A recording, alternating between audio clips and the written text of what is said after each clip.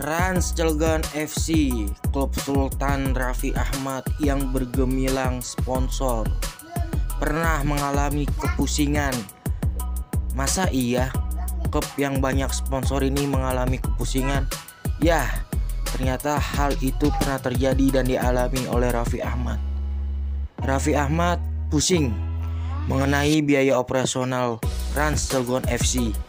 Keberhasilan Rans Cilegon FC promosi ke kasta tertinggi adalah perjuangan yang sangat berat. Sebab sebelum Liga 2 tahun lalu mulai, dana dari sponsor belum diturunkan. Namun Raffi Ahmad dapat mengatasi semua itu menggunakan uang pribadinya. Ya, Ranskandia percaya proses. Terbang tinggi, Onyx ungu.